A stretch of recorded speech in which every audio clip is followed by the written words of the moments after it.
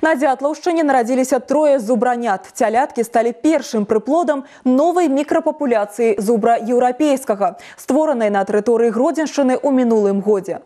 Сям'я дарослых волатаў 18 зуброў паходзіць па адасобінах, прывезеных з азёрскай і налібоцкай папуляцыі. Пасялілася яна на тэрыторыі дзятлаўскага лясгаса. Такое рашэнне было прынята паводле дзяржпраграмы ахова навакольнага асяроддзя і устойлівае выкарыстанне прыродных рэсурсаў.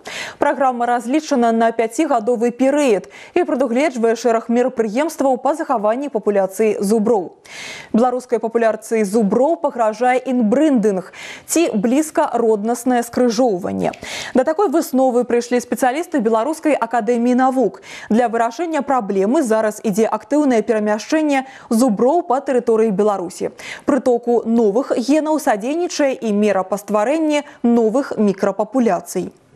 Для того, чтобы сохранить зубр как вид, в Беларуси э, действует э, такой принцип, чтобы создать э, большое количество микропопуляций. И вот в рамках этой программы по сохранению зубра и была создана уже вторая на территории Гродненской области популяция зубра в Дятловском районе. На сегодняшний день у нас еще имеется озерская микропопуляция, которая насчитывает э, около 300 э, особей. Ну и частично на территории области находится налибокская популяция и популяция, которая в национальном парке Беловежская пуща.